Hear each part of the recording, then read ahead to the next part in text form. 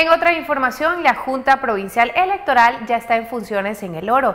La tarde de este lunes tomaron legal posesión y desde este día pues los miembros atendieron a la prensa a quienes le hicieron conocer el calendario electoral en el que trabajan como coordinadores para brindar transparencia en los resultados, en este caso en la consulta popular y referéndum.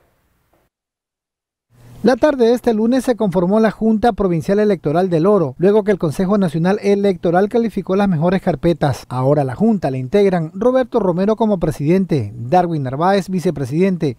Los vocales son Adriana Guillén, Renzo Trocoso y Juan Pablo Abad. Como secretario está Pablo Serrano. El día de hoy, este 12 de diciembre, eh, se vence ya el plazo para que las organizaciones sociales o movimientos y partidos políticos se inscriban para eh, su respectiva postulación, sea el sí o sea el no. Juan Pablo Abad, por su lado, sostuvo que el 19 de diciembre se conformarán y seleccionarán a los miembros de las juntas receptoras del voto. Nosotros empezamos ya el día 21 de diciembre con la notificación de los miembros de las juntas receptoras del voto.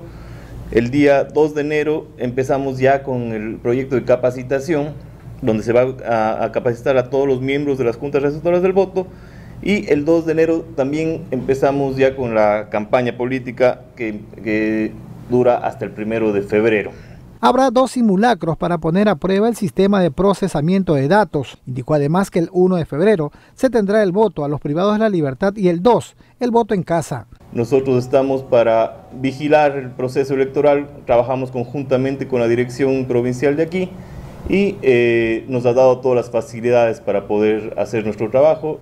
El oro tendrá 529.919 personas habilitadas para votar, de las cuales 270.093 son hombres y 259.926 son mujeres, señaló el funcionario, que para esta consulta popular disminuyen las juntas receptoras del voto porque ya no serán de 330 personas, sino de 400.